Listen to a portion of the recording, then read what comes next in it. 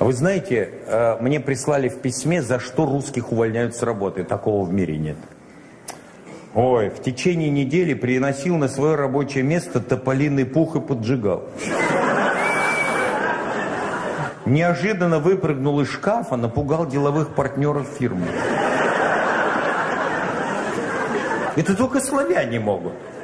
Подложил на стул своего коллеги канцелярскую кнопку, но сам сел на нее.